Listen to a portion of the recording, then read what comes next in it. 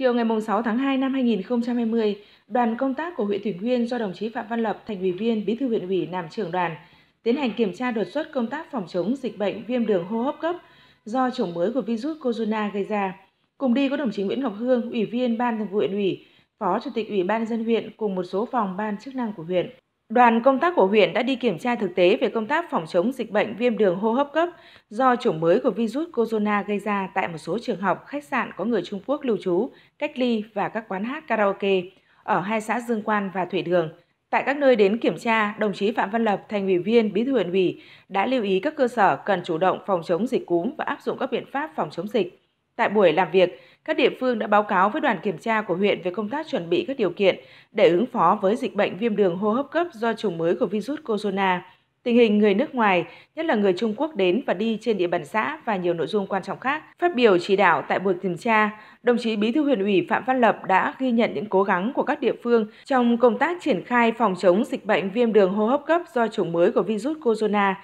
theo đúng tinh thần chỉ đạo của Trung ương, thành phố và huyện đồng chí Bí thư huyện ủy yêu cầu Ủy ban nhân dân các xã cần quyết liệt hơn trong lãnh đạo chỉ đạo với các biện pháp cấp bách, trong đó chú trọng làm tốt công tác tuyên truyền bằng nhiều hình thức, nâng cao ý thức trách nhiệm và tinh thần tự giác của người dân trong phòng chống dịch cúm chủng virus mới corona. Đối với các trường học, tập trung vệ sinh trường lớp sạch sẽ, tuyên truyền cho học sinh đeo khẩu trang trước khi đến trường. Đồng chí Bí thư huyện ủy lưu ý các xã cần tiếp tục theo dõi chặt chẽ số người nước ngoài, nhất là người đến từ vùng dịch trở về lưu trú trên địa bàn xã, để cách ly trực tiếp tại các hộ gia đình, tuyên truyền người dân tránh tụ tập đông người, nhất là các lễ hội đầu năm, các quán hát karaoke, nhà hàng nhằm giảm nguy cơ lây lan, bùng phát dịch trên địa bàn.